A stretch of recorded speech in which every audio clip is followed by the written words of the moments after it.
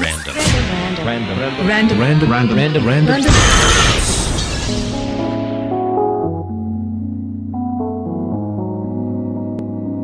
Sis, can I like just talk a little bit, like just a little bit, come from a like a real place, sincere place.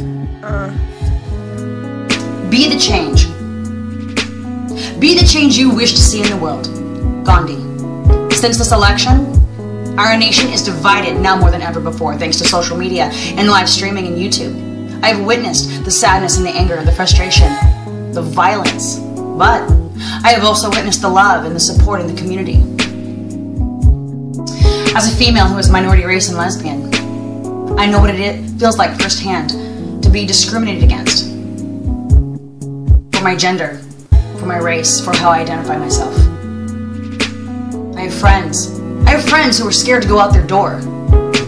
LGBT, Mexican, Muslim, for fear of being attacked. This is real. This is really happening. It is 2016 and we still have racism as a problem, segregation, and it all stems from fear. Fear is the opposite of love. Truth trumps fear.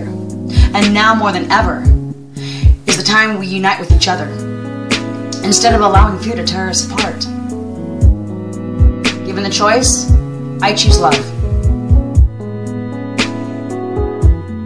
You can too. Every day that you wake up, you determine how your day will go.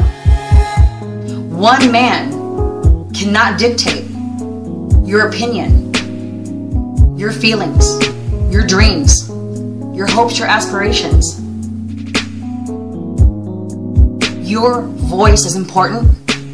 Use it. This election definitely showed us how many people did not get involved.